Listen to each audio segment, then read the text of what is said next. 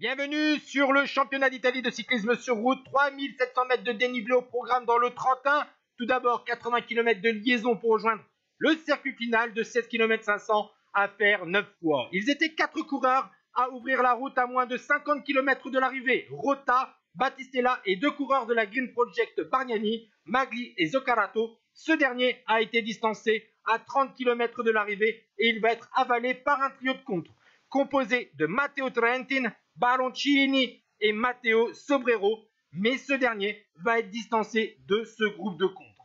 À moins de 14 km de l'arrivée, Lorenzo Rota décide de profiter de la difficulté pour distancer ses compagnons de fugue qui sont repris par de nombreux coureurs puisqu'il y a eu beaucoup d'attaques et donc à l'avant de la course, eh bien Rota est repris à plus de 7 km du terme par un groupe de 6 coureurs avec Velasco, Formolo, Trentin, Maglis, Baragli et le malheureux Baroncini, le coureur de la Trek victime d'un ennui mécanique dans le final, ne peut pas jouer le titre de champion d'Italie.